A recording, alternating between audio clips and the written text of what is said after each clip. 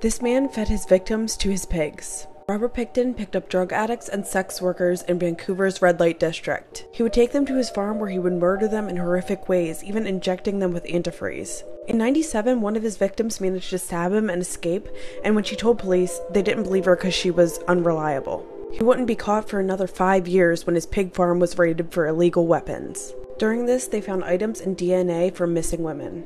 He was convicted of killing six women, but he confessed to 49 and he was quoted as saying he was very upset he couldn't make it to 50.